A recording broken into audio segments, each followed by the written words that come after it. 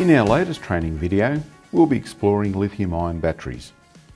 This technology is increasingly being used in electric and hybrid powertrains, as well as the RV market.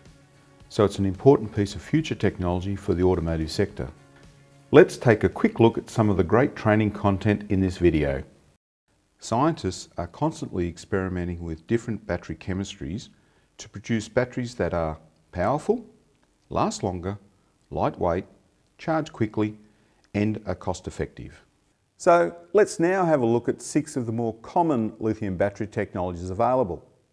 Outside of automotive applications, lithium cobalt oxide is a popular choice for mobile phones, laptops and digital cameras. Items such as power tools and medical devices commonly use a different chemistry known as lithium manganese oxide. However, this can also be found in some electric powertrains. Other electric vehicle battery chemistries include lithium nickel manganese cobalt and lithium titanate, which are known for their safety and ability to be fast charged.